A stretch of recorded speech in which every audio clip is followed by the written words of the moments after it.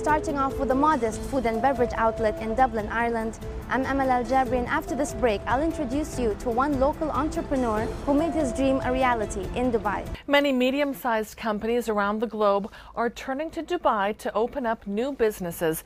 Tonight, we bring you a profile of one company that took that step and has been able to achieve financial success that just wasn't possible back home. Amal Al Jabri has a story.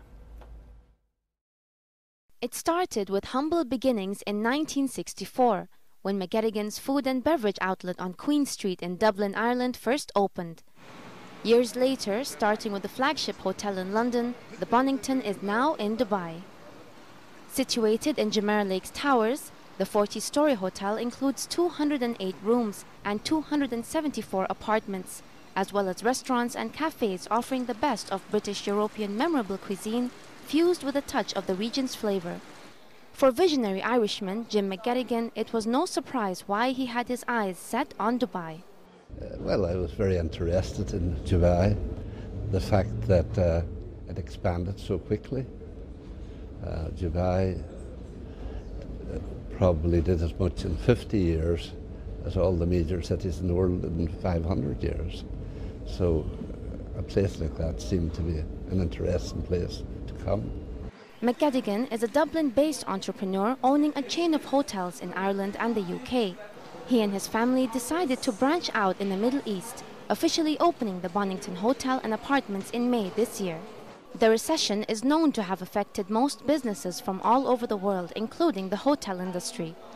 Although the crisis has turned businesses and lives towards a different and at times unpleasant route, Bonnington still stood its ground.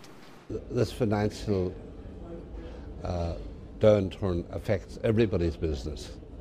You know, um, uh, you know, everyone that has been in business has lost money in this financial uh, crisis.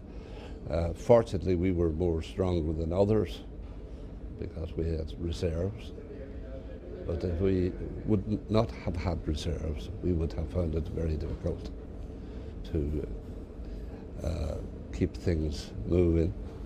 Dubai already boasts hundreds of hotels, but Bonnington stands out, as Jim's youngest daughter explains.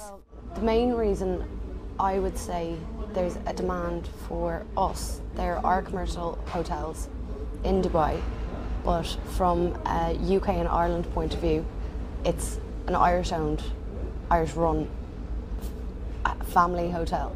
So that I think brings people a lot more, it's a lot more attractive to people insofar as whether, even though it's a commercial hotel, it's easier to actually come into it because you feel like you're semi kind of at home.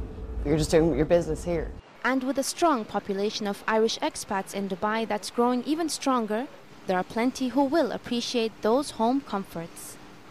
Amal Al Jabri, Emirates News.